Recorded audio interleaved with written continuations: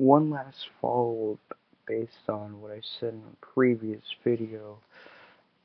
Of course, leftists have less and less to fight for. Grog kind of mentioned half the stuff I said in a much more succinct, understandable way for the masses, or not really the masses, the many, the lots of the autistic viewers on YouTube who really want to see the stuff he speaks about, whether for good or bad. Me, on the other hand,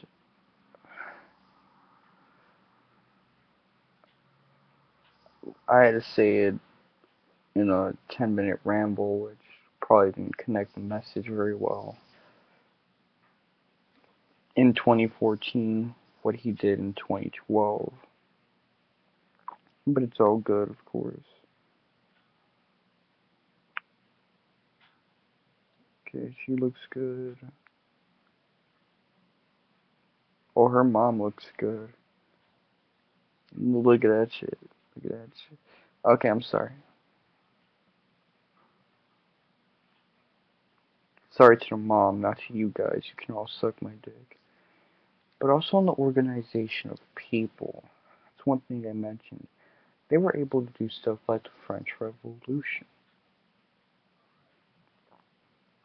When we think of internal street right amongst the left, we think about that Italian girl with the pierced ears kissing a police officer and then getting a sexual harassment request. Really, is that the best we can do? And it's moved from revolution to nonviolent protests to nonviolent protests with coup d'etats. And now it's just a bunch of college hippies all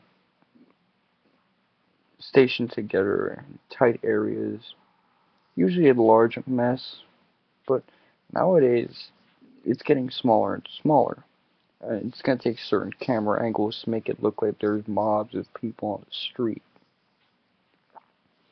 In places that aren't as third world, they're able to amass much more people for these street protests. Yeah, the first world, you're going to get a couple hundred people, if not less, but brilliant camera angles, people are going to think that thousands upon thousands of people are all lined up for these events, maybe even tens of thousands. No, that's ridiculous. All to go together and protest against whatever oppressive force they're up against.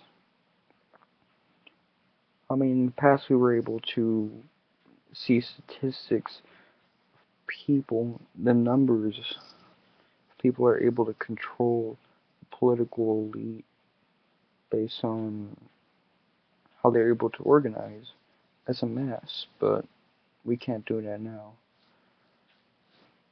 Not left wing, not right wing. Because, really,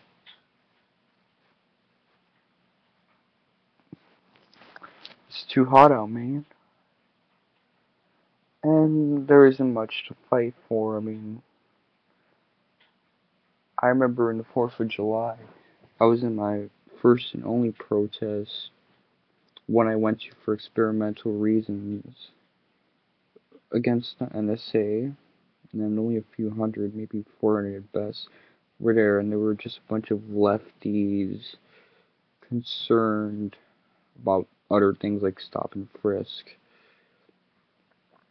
and also there were the Occupy crowd. Occupy crowd, a bunch of Marxists and libertarians and girls that don't shave their armpits, acting like sluts, extroverting up the ass. It was terrible. Me and my friend.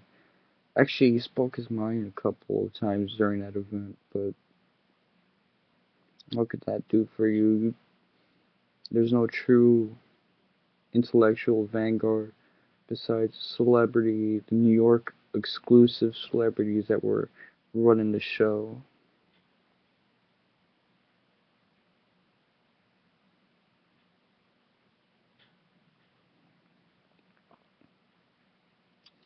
And there was a couple of Trayvon Martin related protests in Union Square. But other than that, what's there to. It's just more and more people amassing to protest whatever the fuck they want.